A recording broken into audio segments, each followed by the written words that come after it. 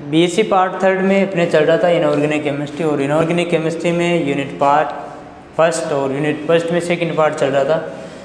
Thermodynamic and kinetic stability of metal complexes और इसमें अपन पढ़ रहे थे stability stepwise stability constant और इंस्टेबिलिटी कांस्टेंट दो पढ़ चुके थे। आज तीसरे के बारे में चर्चा करेंगे। समग्र स्थायित्व इस तरह का मुक्त ऊर्जा से संबंधित। समग्र स्थायित्व स्थिरांक का मुक्त ऊर्जा परिवर्तन से संबंध relation relation of overall stability constant of free energy change तो कहने का मतलब क्या है कि मुक्त ऊर्जा परिवर्तन या मानक मुक्त ऊर्जा परिवर्तन standard free energy changes del G nought या साम्य स्थिरांक या समग्र स्थिरांक बीटा या बीटा एन से निम्न प्रकार संबंधित कर सकते हैं कि मुक्त ऊर्जा परिवर्तन या मानक मुक्त ऊर्जा परिवर्तन, मुक्त ऊर्जा परिवर्तन या मानक मुक्त ऊर्जा परिवर्तन, मुक्त ऊर्जा परिवर्तन को अपन डी नोट करते हैं डेल जी डेल जी या डेल जी नोट से भी आप दर्शा सकते हैं।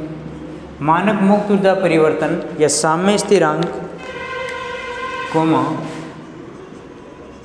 साम्य स्थिरांक साम्य स्थिरांक के और समग्र स्थायित्व स्थिरांक बीटा या बीटा एन। में निम्न प्रकार से निम्न प्रकार संबंधित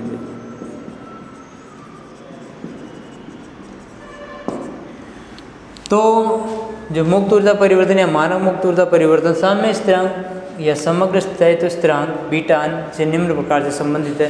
डेल जी डेल जी या डेल जी नोट इक्वल होता है minus two point three zero three R T L N K या फिर R T L N K is equal to R T L N K. तो आर टी एल एन के जो है इसको अपन जी के की जगह क्या रख सकते हैं? और del G is equal to minus R T L N beta या बीटा है। दोनों के बीच समग्र स्थायित्व और स्टेबिलिटी कांस्टेंट के बीच में तो इसको del G is equal to minus two point three zero three R T log K और del G is equal to minus two point three zero three R T log beta या beta N ऐसे भी अपन क्या कर सकते हैं इसको रिप्रेजेंटेट कर सकते हैं। इसको इक्वेशन नंबर वन दे सकते हैं। इसको मैंने एल एन को लॉग में कन्वर्ट कर दिया, इसलिए minus two point three zero three R T log K लिख सकते हैं। और मुक्त ऊर्जा परिवर्तन, इससे क्या होता है? अतः मुक्त ऊर्जा परिवर्तन, मुक्त ऊर्जा परिवर्तन फ्री एनर्जी चेंजेस का डेल जी मुक्त ऊर्जा परिवर्तन का, जो एंट्रोपी परिवर्तन है एंट्रोपी परिवर्तन डेल एस कॉमा एंथेल्पी परिवर्तन डेल एच एंथेल्पी परिवर्तन डेल्टा एच एवं जो ताप है, उनमें संबंध बताना है एवं तापमान में निम्न संबंध होता है। तो जो टेम्परेचर है del G is equal to del H minus T D S इसको डेल एच नोट या डेल एच नोट ये भी ले सकते हैं इसके जगह तो ये जो आई है अपने, ये इक्वेशन नंबर टू है। क्या है ये? टू तो इक्वेशन नंबर वन और टू इसको आप नोट कर लो एक बार।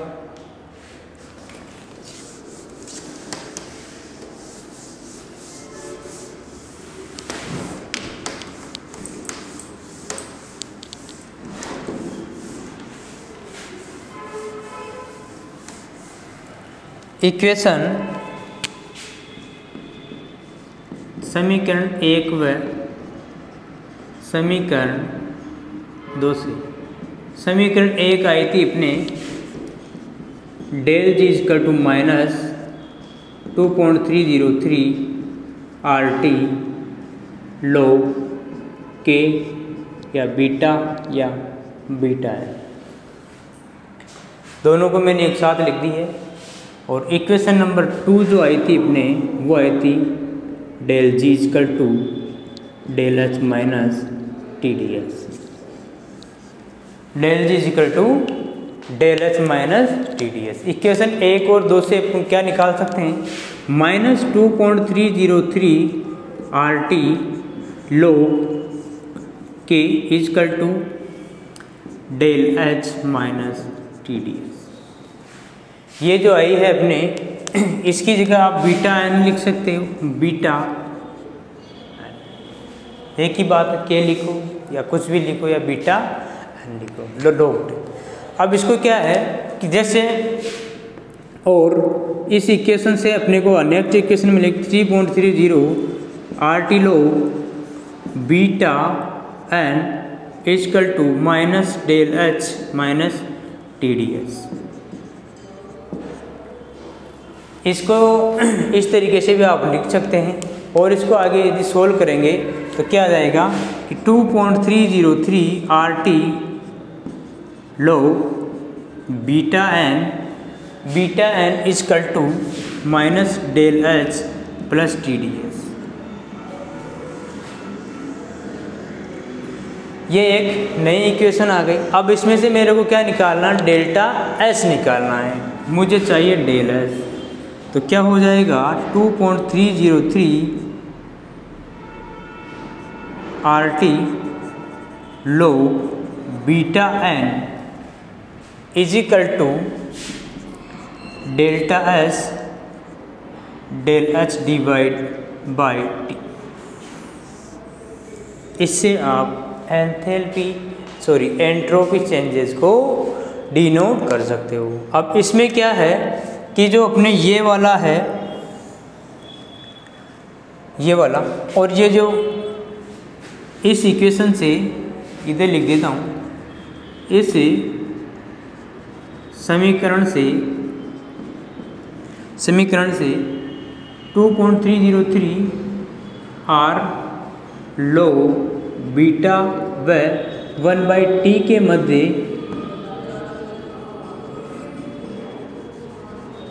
ग्राफ प्लॉट करने पर एक स्ट्रेट लाइन में क्या होता है? ढाल वाली सीधी रेखा प्राप्त होती है। स्लोप आएगी ये। सीधी रेखा प्राप्त होती। तो ये हुआ आपने क्या हुआ अपने? कि जो रिलेशन है relation overall stability constant with free gives free energy तो समग्र जो स्थायित्व स्थिरांक है, उसमें मुक्त ऊर्जा फ्री एनर्जी चेंजेज में रिलेशन है, ये वाला। तो अब इस इक्वेशन नंबर वन और इक्वेशन नंबर टू जो अपने को मिली थी, इनसे जो थर्मोडायनेमिकली जो स्टेबिलिटी है या थर्मोडायनेमिकली कॉन्क्लूजन है, या यूँ कह सकते हैं कि उष्मा गति के निष्कर्ष है, वो निम्न प्रकार से प्राप्त होते हैं।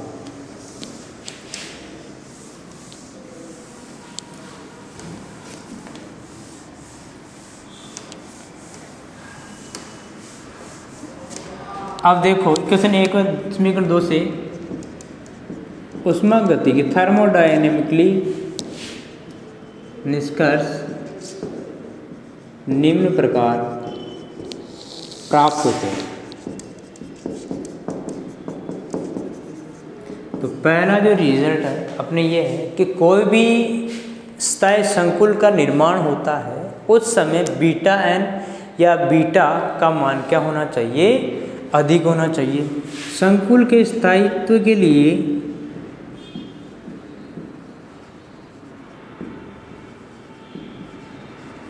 संकुल की जो स्टेबिलिटी है के लिए बीटा या बीटा एन का मान अधिक होना चाहिए। कोई भी जो कॉम्प्लेक्स है, संकुल निर्माण के समय, संकुल का जो फॉर्मेशन होता है, संकुल फॉर्मेशन के लिए फॉर्मेशन में, निर्माण में स्टेबिलिटी के लिए या उसके स्थायित्व के लिए बीटा या बीटान का मान क्या होना चाहिए? ज़्यादा होना चाहिए। दूसरा जो है, डेल जी का मान क्या है? ऋणात्मक होना चाहिए। डेल्टा जी का वैल्यू नेगेटिव होनी चाहिए।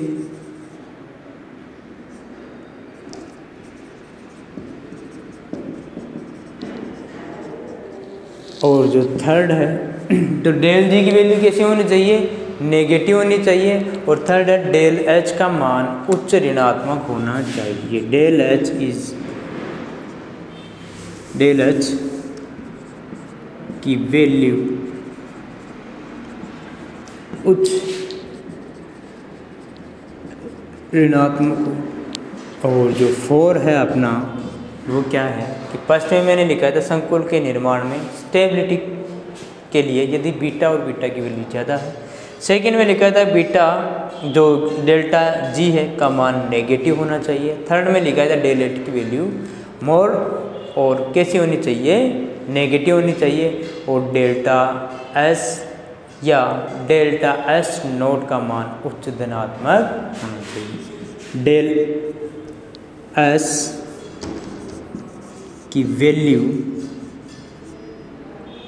उच्च धनात्मक।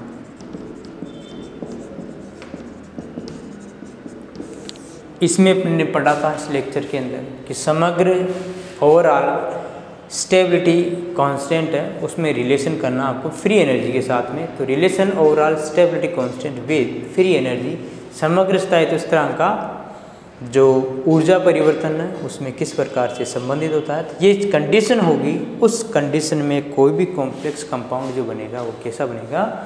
ज़्यादा स्टेबल कॉम्प्लेक्स कंपाउंड बनेगा। आगे वाला जो अपना टॉपिक है वो ये टॉपिक है कि जैसे मान लो कोई भी कॉम्प्लेक्स कंपाउंड बन रहा है तो उस कॉम्प्लेक्स कंपाउंड में स्टेबिलिटी जो होती है, वो किस बात पर निर्भर करती है? संकुलों के स्थायित्व को प्रभावित करने वाले कारक the factor affecting of complex compound metal complex compound संकुल संकुल, जो धातु संकुलों के स्थायित्व को प्रभावित करने वाले जो फैक्टर है, कारक है, वो कौन कौन से हैं?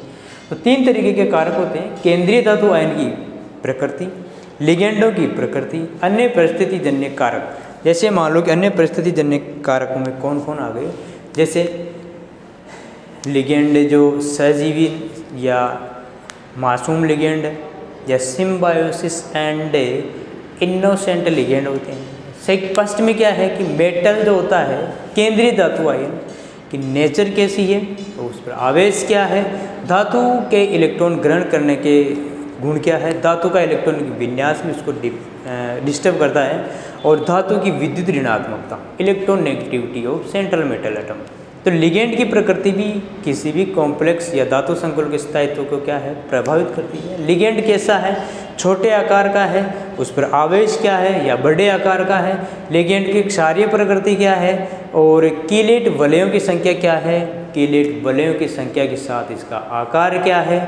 त्रिविम प्रभाव क्या होता है? बलकृत विन्यास क्या होता है? टेम्पलेट इफ़ेक्ट क्या होता है? या फिर लिगेंड की पायबंदी? प्रभाव क्या होता है? दीर्घ चक्री प्रभाव क्या होता है? ये सारे जो फैक्टर होते हैं, वो लिगेंड की प्रकृति को प्रदर्शित करते हैं। और जो थर्ड मैंने लिखा था कि अन्य परिस्थिति जन्य कारक भी क्या है? किसी भी धातु संकुल के स्थायित्व को प्रभावित करने वाले कारक होते हैं। तो धातु संकुल के, धातु संकुल धातु संकुलों के स्थायित्व को प्रभावित करने वाले कारक तीन तरह के फैक्टर होते हैं। एक होते हैं धातु मेटल एक होते हैं लिगेंड फैक्टर और एक होते हैं अन्य परिस्थिति जन्य का अन्य परिस्थिति जन्य कार अन्य परिस्थिति जन्य कार इसमें आता है आपके सहजीवन या मासूम लिए मासूम सिम्बायोसिस एंड इनोसेंट लिगेंड। इसमें आता है आपके जो मेटल है, धातु आयन की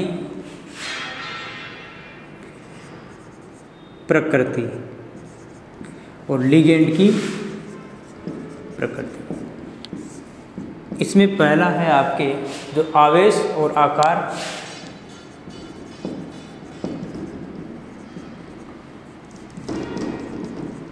सेकंड है, लिगेंड की क्षारीय प्रकृति। लिगेंड क्षारीय है या अम्लीय है, ये इस पर डिपेंड करता है कि लिगेंड की नेचर किस तरीके की है। नेचर के आधार पर लिगेंड धातु संकुलों के स्थायित्व को क्या करता है? प्रभावित करता है। किलेट वलयों की संख्या। किलेट वलयों की संख्या। कीलेट वलयों का आकार क्या है?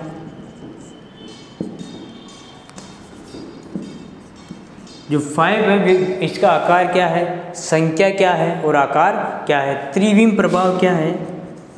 त्रिविम प्रभाव टेम्पलेट प्रभाव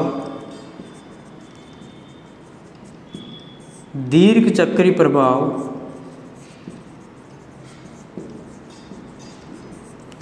जो दीर्घ चक्री है, दीर्घ चक्री प्रभाव लिगेंड की पायबंदी।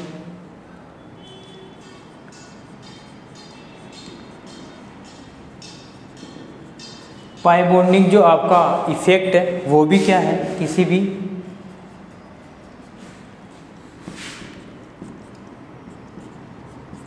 और भी हो सकते हैं, बहुत सारे बलकृत विन्यास है, और भी है।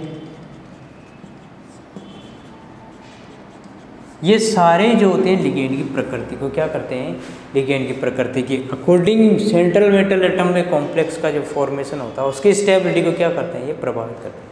आवेश तथा आकार के आवेश व आकार जो सेंट्रल मेटल एटम है, उसका आवेश क्या है? और उसका आकार क्या है? या धातु के इलेक्ट्रॉन ग्राही गुण कैसे हैं? धातु के इलेक्ट्रॉन ग्राही गुण कौन कौन से हैं? जो तीसरा है, धातु किस तरीके से इलेक्ट्रॉनों को एक्सेप्ट करता है? एक्सेप्ट करने की टेंडेंसी कितनी है? धातु का इलेक्ट्रॉनिक कॉन्फ़िगरेशन क्या है?